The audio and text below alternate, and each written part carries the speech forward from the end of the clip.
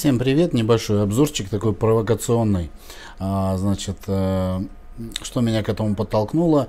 Э, значит, я выставил э, анонс о том, что мы собираемся с Катей Зайцевой установить рекорд в силовом экстриме и по толканию гантелей. В King мы ее сейчас заказываем. И Николай Виткевич, мой товарищ многолетний, когда-то он стоял у истоков развития альтернативного пауэрлифтинга, а, был одним из создателей WPC ВПЦ. Потом он ушел и стал развивать э, армлифтинг. И вот по поводу армлифтинга у нас с ним столкновения были очень часто. И здесь он э, написал э, по поводу того, что а что вот возьми там инчевые какие-то гантели, там закажи там силоруков или где-то там, я не знаю, 53 или 54 килограмма, там вот такие ручки. Вот у нас есть такой, он постоянно продвигает своего, своего звезду ихнюю Тюкалова который является там многократным всего-всего по армлифту. Армлифт, кто не знает, это такой жуткий вид спорта, который я, честно говоря, никогда не признавал.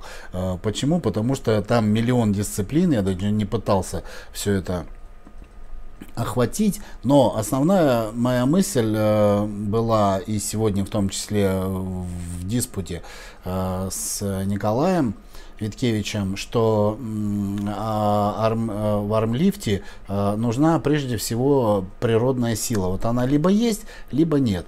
То есть накачать, э, натренировать хват и натренировать там кисти, вот сила рук – практически, я считаю, что невозможно до какого-то предела, наверное, там разрядником, там каким-нибудь, э, может там до кандидата, я не знаю, может до мастера спорта. Э, а, все это, наверное, можно как-то довести. Потом вот э, именно э, устанавливать какие-то рекорды можно только природно. По большому, природная сила должна быть. Вы, наверное, сталкивались очень часто э, с людьми, которые там, ну не часто, но вот вы видели такие, таких людей, которые совершенно никогда не занимались спортом, они берут там, гнут гвозди там двухсотки закручивают там, или монеты какие-нибудь гнут. Вот это вот природная сила. То есть ты смотришь абсолютно худой какой-нибудь парень, или мужик, или дед, и вот он берет и вот такие вещи.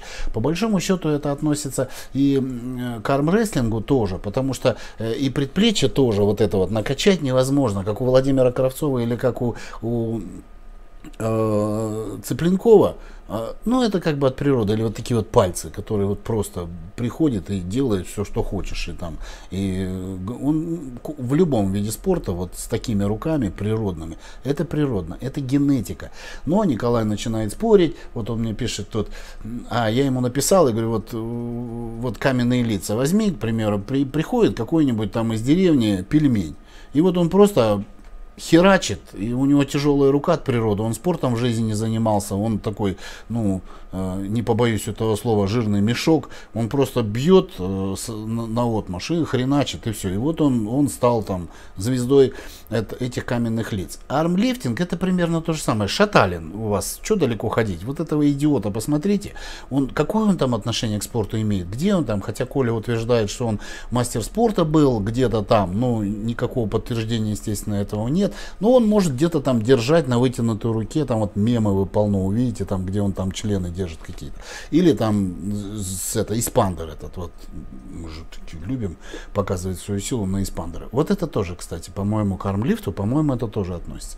Вот этот клоун весь в медалях, это вот из армлифтинга он. Он считает себя звездой армлифтинга. И вот Николай мне говорит, вот Тюкалов у нас такой вот, он там толкает, не все стронги смогут, вот эти вот гантели. С чего началось вообще, он предложил, толкни вот эту вот гантель, возьми. Я говорю, ты понимаешь, там совсем, это совершенно разные виды спорта. В стронгах гантель повыше, соответственно, рука у тебя угол там повыше, тебе легче там все это толкать.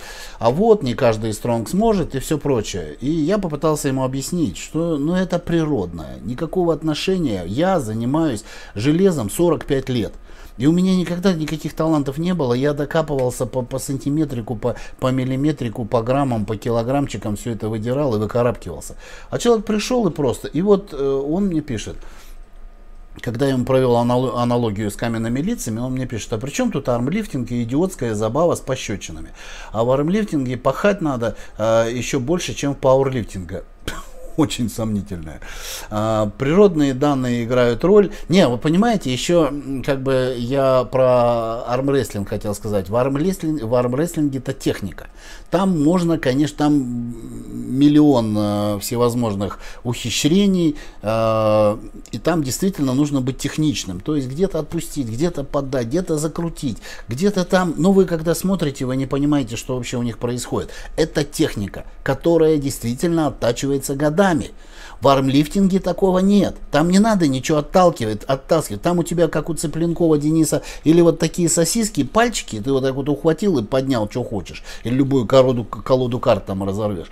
Или ты хрен вообще, или вот предплечье там вот такое огромное там у тебя от природы. Так, ну, как бы это, это разные вещи, несопоставимые. Ну так вот, я просто прыгаю, прыгаю, не готовился, поэтому с темы на тему перепрыгиваю.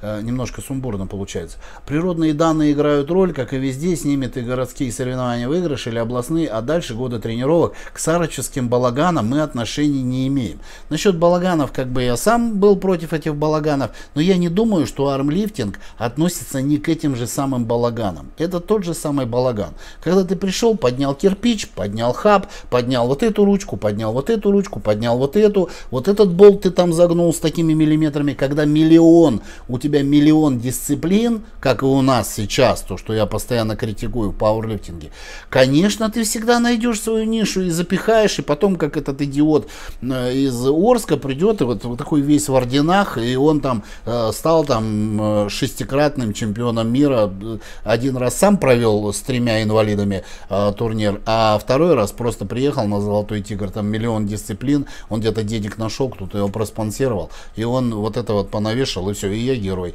И, и по поводу того, что годы тренировок, вот я открываю, а первую попавшуюся, я вам клянусь, вот эта звезда а, армлифтинга российского, это этот Тюкалов по прозвищу «Русский танк». Что-то с русским берсерком у меня а, ассоциации какие-то. Значит, читаю. «Железный мир». Сейчас мы знаем Алексея Тюкалова как одного из сильнейших армлифтеров планеты. А с чего ты начинал, когда появилась у тебя любовь к занятиям спортом и какими видами ты занимался? Алексей Тюкалов отвечает, с четырех лет начал заниматься в Доме физкультуры в различных группах для детей. С 8 лет пошел на бокс, а до 18 выступал на турнирах по боксу и э, на районных, городских, областных, зональных турнирах. В военном училище в Санкт-Петербурге выступал за сборную. Там же увлекся рукопашным боем под началом Виктора э, Козака. Он является моим тренером. С 97 года и по сей день с 97 -го года тренером и по сей день. То есть вы отследили, да, человек занимался спортом. Каким спортом?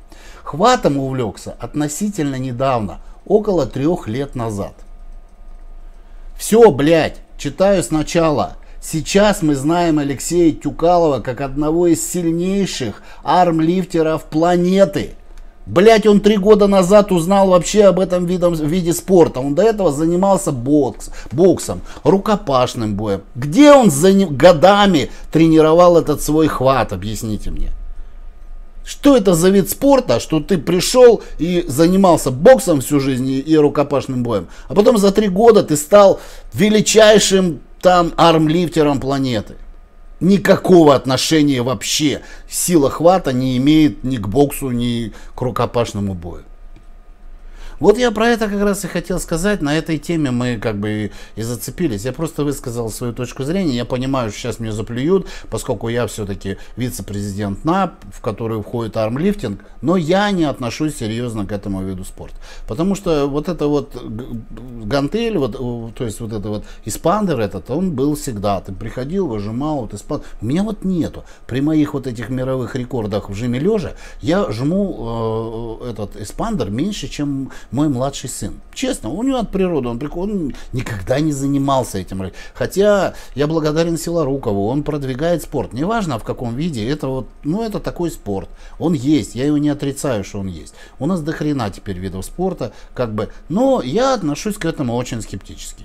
И, конечно, все это смешно выглядит, когда вот я начинаю там на себя одеяло тащить, э, так же, как вот э, Коля Виткевич э, говорил, что вот, а вот стронги не все могут, как Тюкалов.